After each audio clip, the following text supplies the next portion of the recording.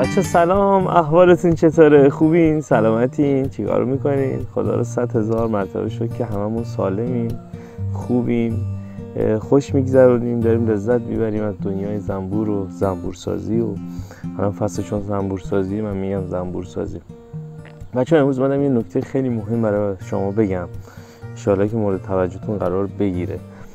اینکه الان بحث بحث زنبورخاره و پرنده زنبورخار یا اسم دومش همون سبز قواس و تقریبا ما دستمون کاری بر نمیاد برای این موجود که میاد زنبورها رو می‌خوره. بسیار زنب... حیوان پرنده خوشگلیه و زنبورها رو می‌خوره. خیلی از پیجا من می‌بینم تو اینستاگرام تو یوتیوب که اصلا نیست فقط اینستاگرام.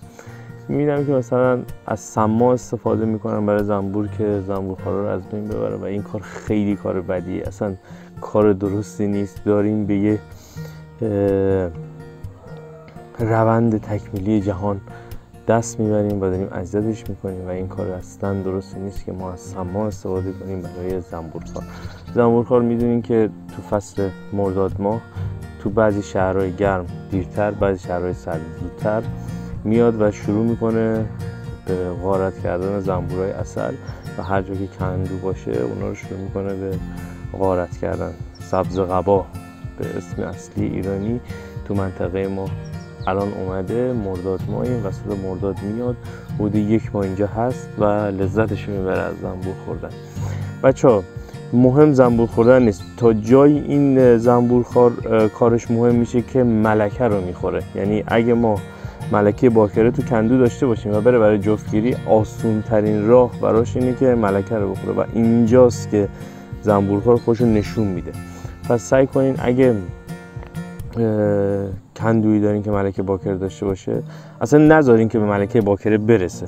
سعی کنین که حتما تا این موقع سال جفت خورده باشه و اینا باکره اگه داشته باشین بچه مصنوعی بگیرین. برای اون من بچه ها از من تو اینستاگرام توی یوتیوب تو کامنت ها سوال می‌کنن من برمیگردم میگم که آقا شما سعی کنین که هر چی بچه می‌خواین بگیرین تا قبل از خرداد ماه باشه که خرداد ماه زنبور جفتگیریشو کرده باشه و تخریص شده باشه. چون که تو این فصل مرداد ماه شهریور جفتگیری ملکه یک به ده یعنی ده تا ملکه یه دونش امکان داره برگرده و زنبورخوار قطعا خواهد خورد چون آسون ترین روشه. چون زمانی که ملکه پرواز می‌کنه هزار تا زنبور نر دنبالشن راحت می‌تونه اون جای منطقه رو بهش نشون بده و خب چون اولین زنبوره او... پیشگام توی رفتن برای جفتگیری قطعا اولین چیزی که برخورد می‌کنه به زنبورخواره و اون راحت می‌تونن از بین ببرن. این یه نمونه می‌خواستم درباره زنبورخوار میگم برای پیشگیری. بچه پیشگیری خب می‌دونین که سم و اینا که هیچی کار خیلی زشت و بدیه.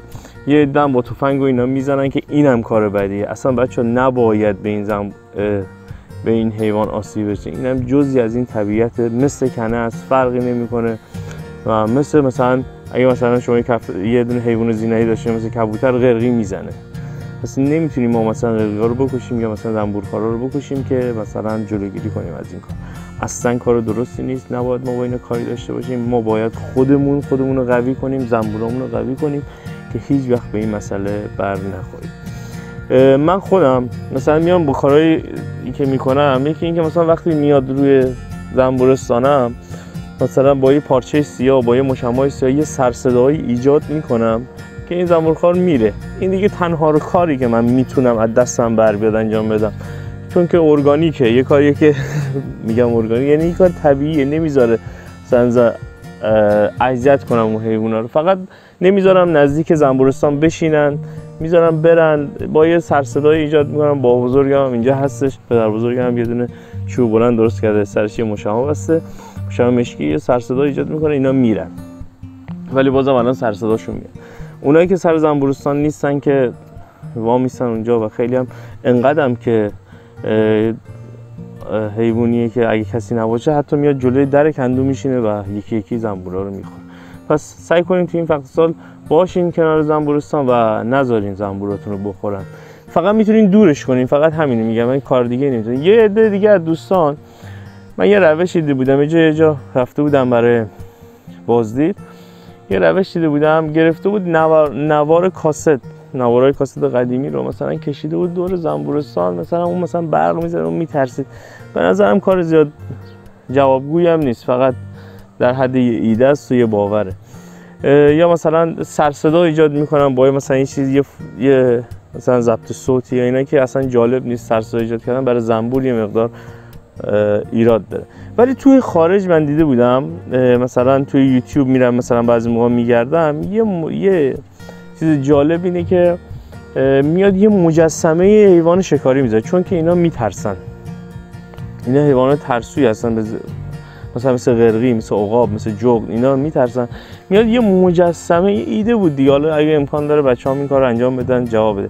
یه مجسمه مثلا کوچیک غرقی یا مثلا عقاب رو میذاش روی زنبورستان اونها بر اثر دیدن این میترسیدن فرار می‌کنن یا مثلا تو ضبط صوت صدای غرقی در می آوردن که مثلا گذاشتن تو زنبورستان اونم میترسید فرار می‌کرد. اینم یکی از روشاشه ولی بچه ها این روش هایی که گفتم همشون در حد ایدن. همون که شما زنبورتون قوی کنین ملکه باکره برای جفت خوردن نداشته باشین می‌تونه جواب بده. خیلی مخلصیم. ان که استفاده کنین لذتشو ببرین. ما هستیم همیشه هستیم. براتون ویدیو درست می‌کنیم تا شما هم لذت خیلی مخلصیم. فدای شما.